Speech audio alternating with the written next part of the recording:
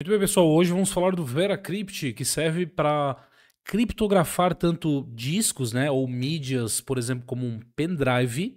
É, e a gente também pode criar um disco ou uma partição virtual, tanto oculta como não oculta, e podemos também fazer vários processos ali, como trabalhar com vários métodos né, de criptografia e também de hashes, tá?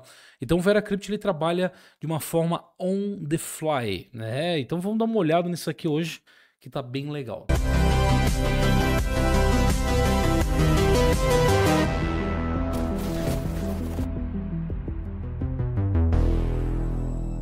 Bom, o VeraCrypt, para quem não sabe, ele é um, um fork do projeto TrueCrypt, né? Que já foi descontinuado, inclusive. O TrueCrypt ele tinha algumas é, funcionalidades um pouco desatualizadas para a computação moderna, para as CPUs mais modernas, é, entre outras falhas né, de segurança, usando também algumas, me, alguns métodos de criptografia um pouco desatualizados, que já tinham sido quebradas. Então o projeto acabou que sendo descontinuado. E aí entrou o VeraCrypt, né? Fez um fork lá do TrueCrypt e acabou que fazendo fork e eles estão mantendo esse projeto. Um projeto excelente, por sinal. Então, para o TrueCrypt ele ter é, algumas licenças lá que não eram tão permissivas, né, que trabalha, não, trabalha, não conseguia trabalhar ali com software livre, etc. Acabou que o VeraCrypt acabou herdando também algum, algumas dessas licenças, tá? Então ele não vai rodar aí é por padrão, não vai estar em repositório como do Debian, por exemplo, essas distribuições que prezam mais pelo software livre. Aí a gente já tem o ZuluCrypt, tá? O ZuluCrypt a gente consegue trabalhar com esses projetos FOSS, né? Free Open Source, beleza? Vamos dar uma olhada então no VeraCrypt aqui, que é um projetinho bem bacana. Crypt ele está presente aí na maioria das distribuições, tá? Como eu falei, é, que não trabalham somente com, por padrão com repositório FOSS, né? Ou somente software livre. Então não vai estar tá presente por aí, mas em distribuições como Arch Linux, entre outros, a gente consegue fazer a instalação tranquilamente. A tela inicial do VeraCrypt é essa aqui que você está vendo. Aqui a gente tem uma série é, de slots, né? Os slots são basicamente as partições tanto virtuais ou físicas que a gente vai ter e vai montando, né? Na verdade, a gente vai montando por aqui, tá? Então vai de 1 a 64. A gente consegue ter 64 discos aqui criptografados, né? Então é bastante coisa, né? Então aqui no caso, galera, a gente vai começar a criar um disco... Vamos começar a criar um disquinho aqui. Ó, Create New Volume. Ou aqui embaixo também a gente pode clicar, ó. E essa é a telinha para a gente começar a fazer a configuração. Ele não tem em português, tá? Eu não consegui achar aqui para traduzir ele. Então, se alguém saiba, sabe como fazer esse processo, deve ser simples talvez, bota aí no comentário, tá bom?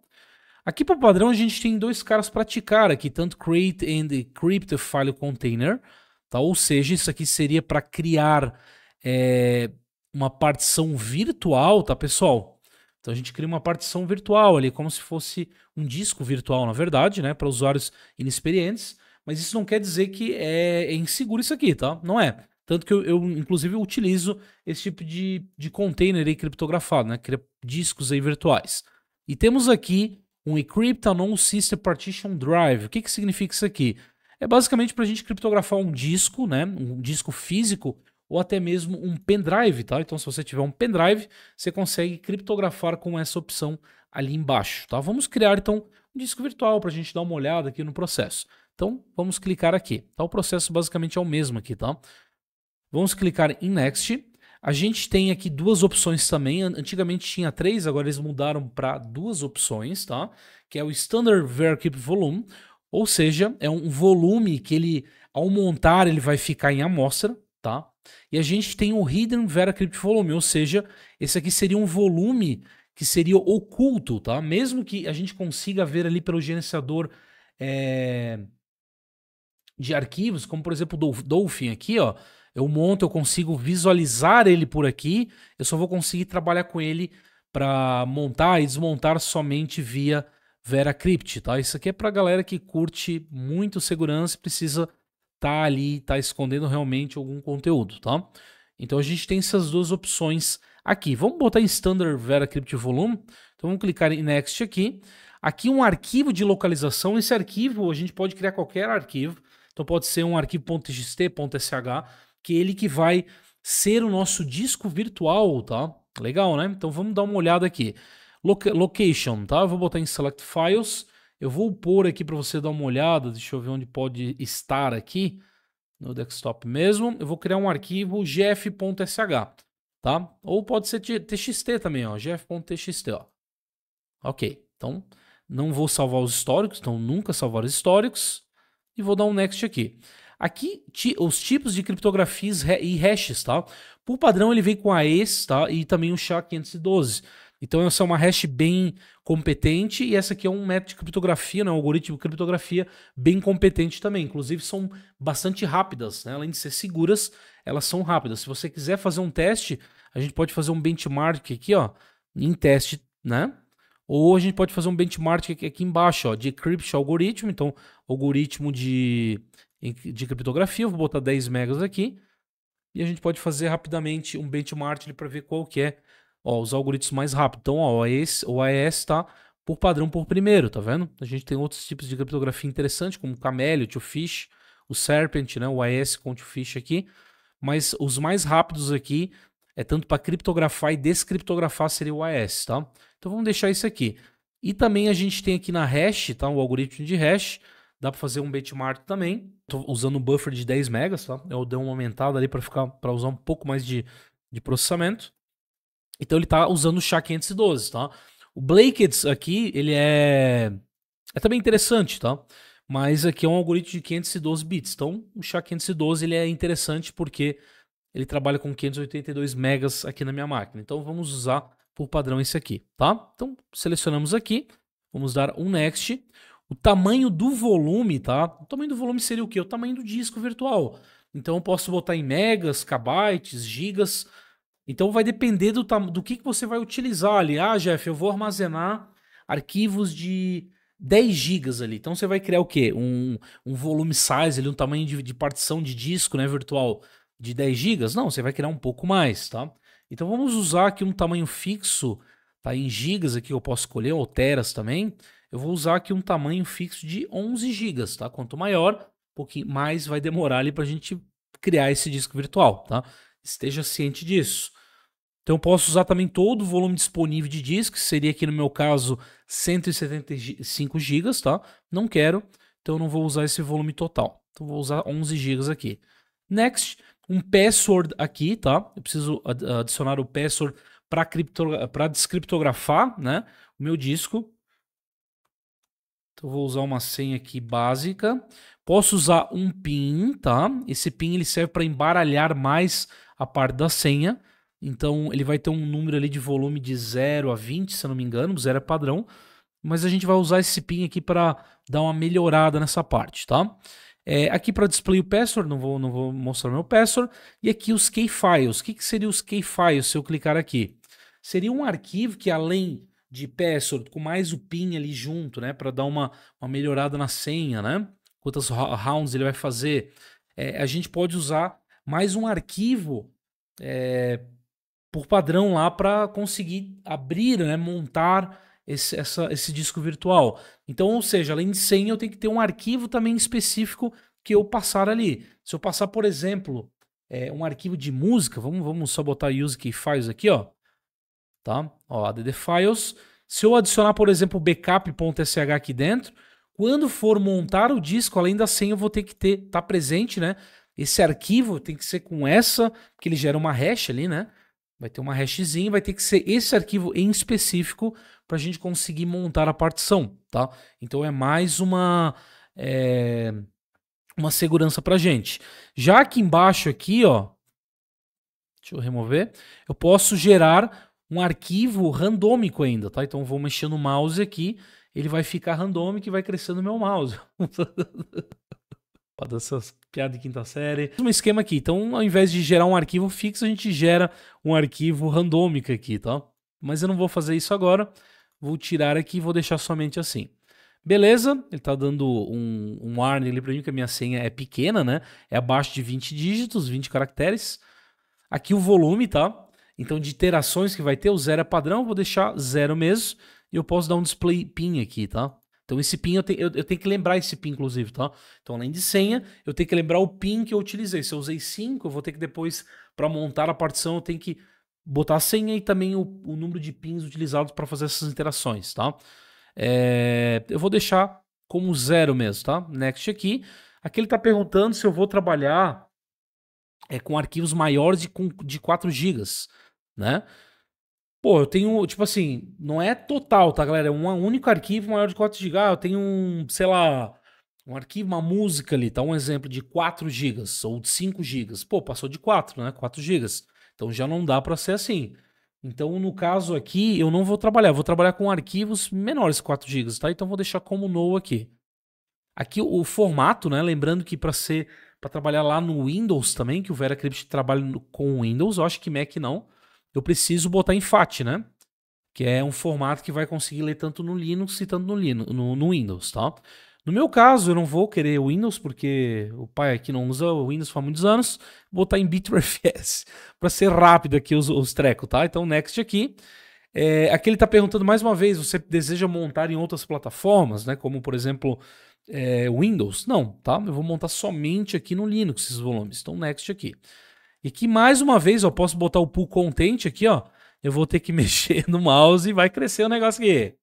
Tá? Então, vou ter que ir mexendo aqui para gerar esses números randômicos, né? Ser random pool aí, é, para conseguir criptografar e ficar tudo bonitinho, tá? Então vou deixar baixar um pouco aqui esse negócio.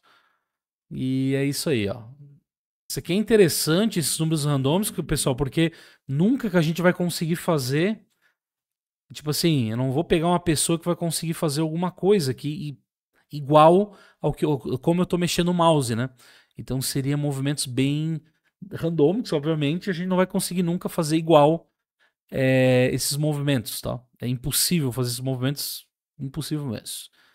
Ok, aqui terminou. Quando a barrinha chegar no final, a gente dá um format aqui, tá? Então, format aqui, ele vai começar a formatar. Só aguardar um pouquinho, tá? O speed aqui, indone, a porcentagem. Ok, bateu 100%, tá pedindo a senha administrativa, tá? Não que você usou ali para criptografar, e sim a senha administrativa do sudo, né? Se você utiliza sudo ou su aí, tá? Então vamos botar a senha administrativa, vamos ver se eu não errei, porque eu sempre erro a senha.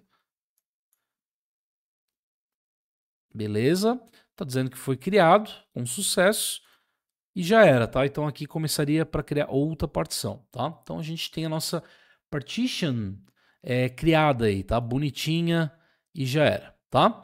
Aqui no caso, para montar esse arquivo, ó, então meu arquivo ele está aqui na minha outra área de trabalho, ó, seria o meu arquivo aqui. É... Perceba que é um arquivo simples, né? Deixa eu abrir um terminal aqui rapidão, só para a gente ver o tipo de arquivo. Ó, file GFTX, ele vai mostrar que é uma, um data, né? Inclusive, se eu abrir esse arquivo aqui, ele vai ter uma série de coisas randômicas aqui, eu acho que vai até travar o nano, tá? Que é uma partição mesmo, é disso. Só que isso aqui é mais para enganar, né? Para olhar, hum, GFTXT é um arquivo de texto, tá tudo certo, né? Mas lembrando que eu só vou conseguir montar com VeraCrypt aqui, tá bom? Então vai, vai dar ruim aqui, obviamente. Eu vou até sair. Mas vamos montar esse arquivo. Para montar um arquivo, posso selecionar um slot aleatório, tá? Isso não importa qual slot. Cliquei em cima, posso clicar duas vezes aqui não, mas eu vou clicar uma vez e vou aqui em Select File, ó. Tá vendo? Tá, eu vou selecionar esse arquivo ali que eu queria, essa, essa partição ali, partição não, um disco né, virtual. Vou vir em desktop, gf.txt, tá? Então já está tudo certinho. E eu posso clicar em Mount aqui. Então, mais uma vez, ó, vou botar minha senha que a gente criou e o meu PIN, né? Meu PIN foi o zero aqui que eu, que eu usei, tá? Se tivesse use keyfiles, aquele aquela arquivo como chave também, eu teria que clicar aqui e selecionar o arquivo, tá? Aqui vou dar um OK e ele vai começar a montar. Feito o mount aqui, ó, percebe que já montou, tá? O arquivo continua ali bonitinho. Cliquei duas vezes, inclusive ele aparece aqui, ó, no meu gestor né, de arquivos, meu Dolphin, tá? Então ele aparece aqui e eu já tenho a partição aqui ó, feita para mim começar a trabalhar aqui dentro, tá? Vou criar um arquivo de texto aqui qual comum. Então os arquivos vão estar tá aqui totalmente criptografados dentro dessa partição, tá? Então é sim um, algo importante, né? Além da gente criptografar o sistema, a gente consegue também fazer esse disco virtual criptografado, né? Ou também, inclusive até num pendrive. Então é interessante a gente usar isso, né? A gente pode botar depois essa partição virtual em outro lugar, tipo ah, um pendrive ou qualquer outra mídia e levar para onde a gente quiser, desde que vai ter, precisa ter, né, o VeraCrypt outro local para a gente fazer essas montagens aí desses discos virtuais, tá? Então fiz aqui o processo, eu posso inclusive até clicar em cima aqui, né? Abrir aqui inclusive e também desmontar, tá? Então desmount, aqui desmontei a partição. Se eu quiser montar de novo, ó, ele já vai estar tá ali por padrão, nem precisava ter clicado, mounts, mais uma vez a senha, sempre vai pedir, tá? O PIN aqui usado, usei zero, ok. Cliquei duas vezes, então meu arquivo está lá ainda, tá? Obviamente porque é um disco virtual, tá? Então já era, cara. É basicamente assim o funcionamento do nosso amigo é... VeraCrypt, né? Então bem fácil, né?